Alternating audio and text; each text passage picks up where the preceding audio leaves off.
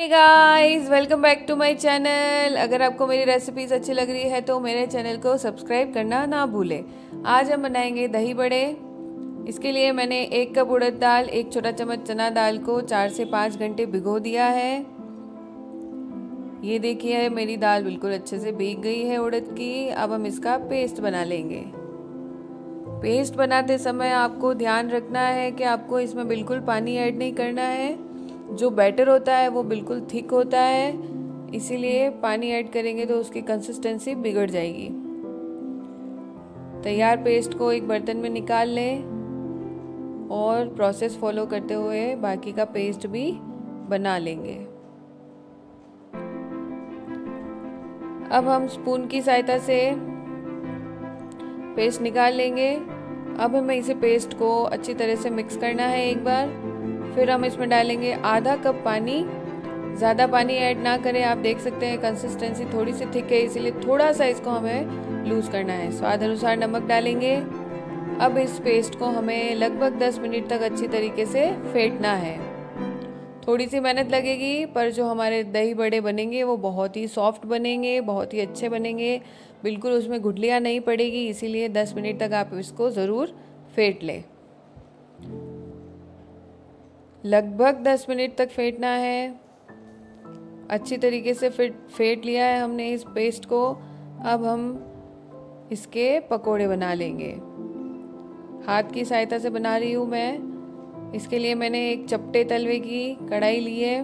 उसमें बिल्कुल कम तेल डाला है और आप देख सकते हैं प्रोसेस आपको इस तरीके से फॉलो करना है, कैसे आपको पकौड़ी बनी है। पकौड़ी का आधा सिरा बाहर की तरफ़ ही रहना चाहिए। बिल्कुल पूरा आपको पकौड़ी डुबानी नहीं है। तेल के अंदर। अब एक स्पून की सहायता से हम पकौड़ी के ऊपर तेल डाल देंगे। देख सकते हो आप लोग कैसे ये फ्लफ़ी हो गए हैं। बड़े बहुत ही अच्छी तरह से फूल गए हैं और आपने देखा मैंने इसमें बिल्कुल सोडा नहीं डाला है। टर्न कर लिया है मैंने।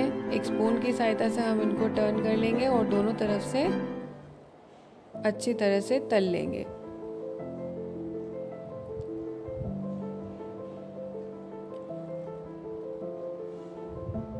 लाइट ब्राउन होने पे हम इनको बाहर निकाल लेंगे गैस को आपको मीडियम पे रखना है, ना ज़्यादा फुल रखना है, ना ज़्यादा धीमा। अब हम बाकी का जो पेस्ट है, उसके भी सेम प्रोसेस फॉलो करते हुए बड़े बना लेंगे। चम्मच की सहायता से तेल डाल दें, ऊपर की तरफ़। टर्न भी करना है इनको।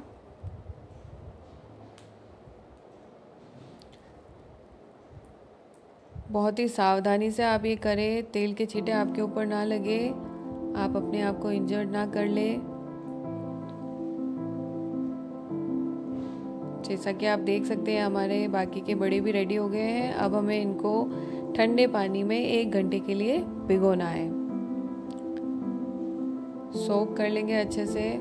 जितने आपको चाहिए उतने आप कर सकते हैं और बाकी क्या आप साइड में रख सकते हैं। जब तक हमारे बड़े सोक हो रहे हैं पानी में, हम दही तैयार कर लेंगे। इसके लिए मैंने एक लीटर दूध का दही जमाया है। इसको मैं अच्छी तरीके से फेंट रही हूँ ताकि इसमें कोई भी गुटलियाँ ना रहे।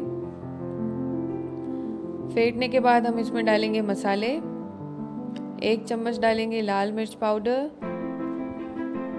एक छोटा चम्मच डालेंगे ज़ीरा पाउडर, एक छोटा चम्मच डालेंगे शक्कर, स्वाद अनुसार डालेंगे हम इसमें काला नमक और इसको अच्छी तरह से फेंट लेंगे। मैंने ये मसाले इसमें डाले हैं क्योंकि सारा जो टेस्ट है एक जैसा रहेगा, क्योंकि हम बहुत बार कभी कम मिर्ची डल जाती है, कभी नमक कम हो जाता है, इसीलिए आप ऐसे दही बना लें ताकि दही बड़े स्वाद बने। दही तैयार हो गया है। अब हम बड़े हमारे सोख हो गए इनको हथेली के बीच में रख के अच्छी तरह से दबा के सारा पानी निकाल लें। एक सर्विंग सर्विंग बोल में ले लें। दो बड़े रखेंगे हम इसमें। अब हम इस पर दही डालेंगे। दो से तीन चम्मच। दही डालने के बाद हम इस पर डालेंगे इमली की चटनी।